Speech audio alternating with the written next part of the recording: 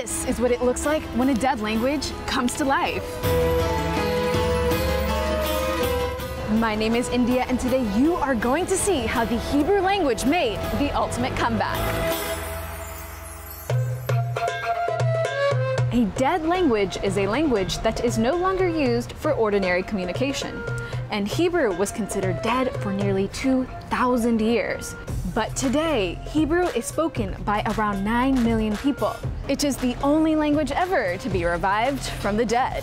It is one of Israel's official languages, along with Arabic. So that's why you can see street signs with both Hebrew and Arabic on them. Being in Israel today, I can see and hear Hebrew everywhere. Just look.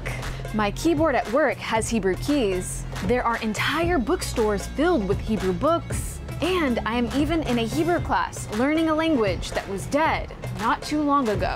And this is what it sounds like. ערב טוב, אתם מוכנים? 50 שקל על הרצפה, וכאילו הכי שמחתי בעולם. זה לא דבר מדבק. סבבה לגמרי.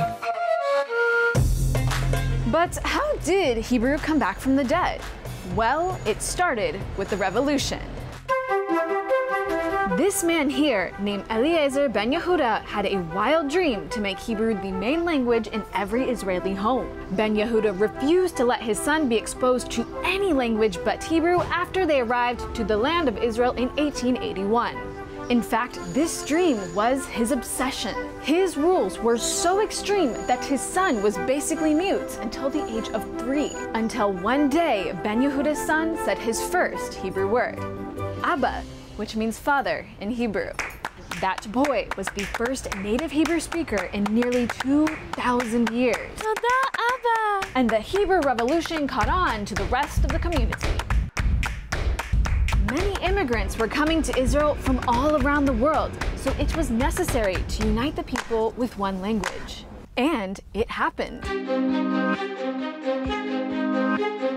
The millions of Israelis speaking Hebrew today are living proof of that. Shalom. Shalom. Shalom. This should be an inspiration to us all.